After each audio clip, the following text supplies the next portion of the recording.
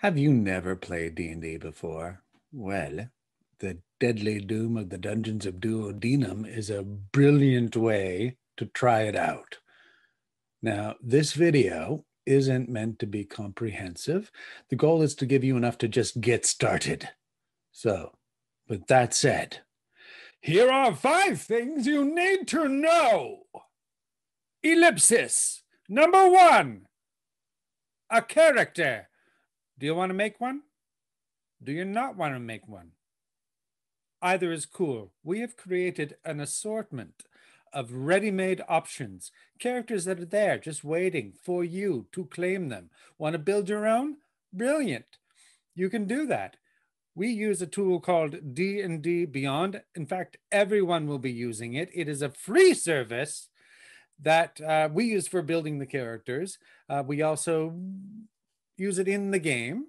It comes with all that you require, including digital dice, which brings us to point two. Number two, dice. If you know anything about D&D, you know that there are dice. So, so many dice. D&D Beyond handles dice rolls, so if you're peeved because you have to buy dice, don't. Just don't buy dice.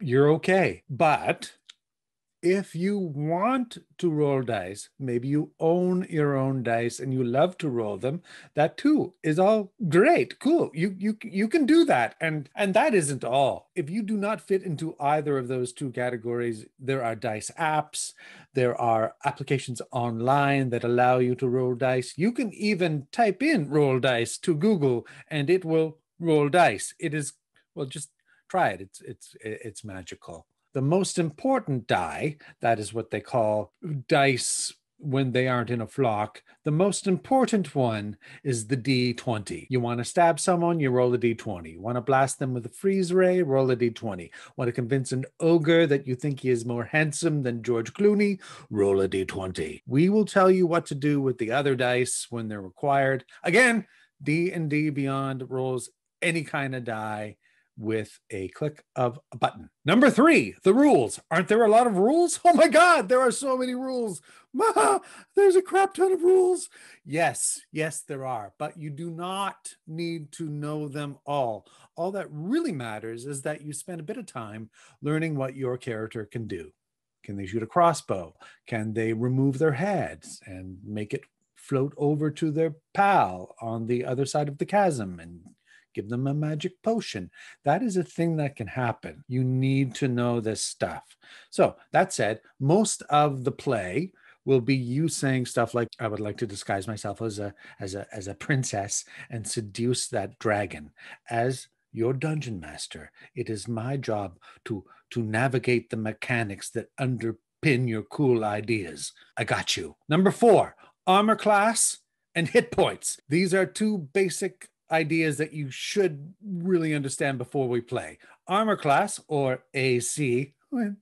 Acronyms, they're always, you know, it's good.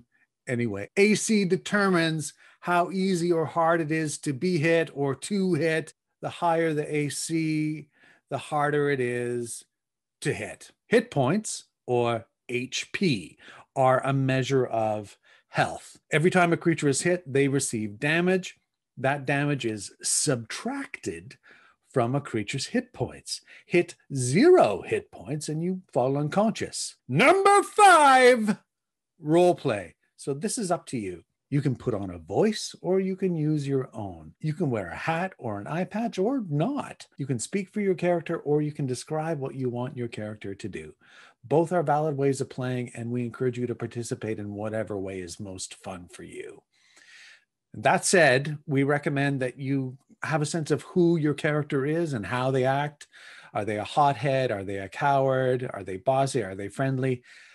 Please, please choose character traits that aren't too douchey, right? Like we don't deciding to play someone who hates their party and steals their stuff and stabs them whenever they disagree just takes away from other people's fun.